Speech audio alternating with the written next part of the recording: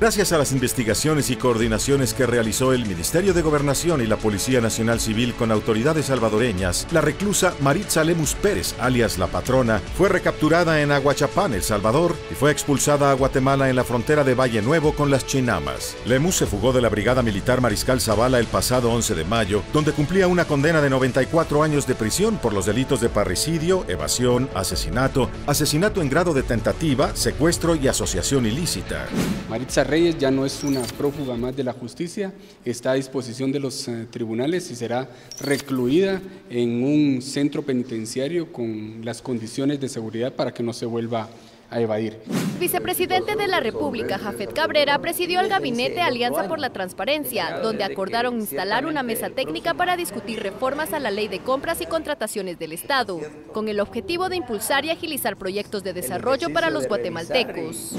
en donde cada institución va a proponer la viabilidad de una ley de contrataciones que realmente permita el desarrollo del país. Los ministros de Ambiente, Sidney Samuels y el de Finanzas, Julio Héctor Estrada, firmaron una carta de entendimiento que permitirá operativizar los mecanismos que incorporan a Guatemala como productor y vendedor de bonos de carbono, reductores de gases efecto invernadero en el planeta. Pensamos que con la firma de la carta,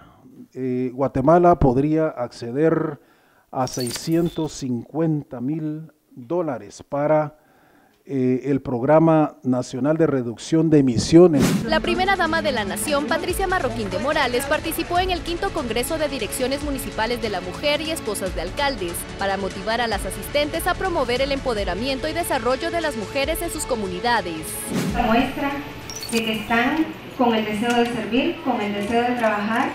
y que quieren aprovechar esta oportunidad que tienen de, de, capacitarse, de aprender un poco más. En el Museo Arqueológico de Alicante, España, el ministro de Cultura y Deportes José Luis Chea Urruela inauguró la exposición Mayas, el enigma de las ciudades perdidas, donde estuvo acompañado del presidente del gobierno provincial de Alicante, César Sánchez, y del embajador de Guatemala en España, Fernando Molina Girón. Y para nosotros es un privilegio que no solo hayan estado en Holanda,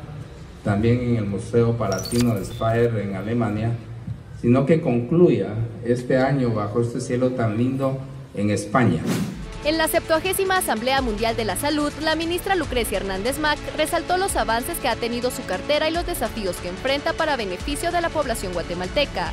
entre ellos el abastecimiento del más del 90% de medicamentos y equipo médico quirúrgico en la red hospitalaria y la implementación paulatina del modelo incluyente de salud. Ha logrado la reducción de la mortalidad materna, la mortalidad infantil y la malnutrición, precisamente por no ser un programa vertical materno-infantil.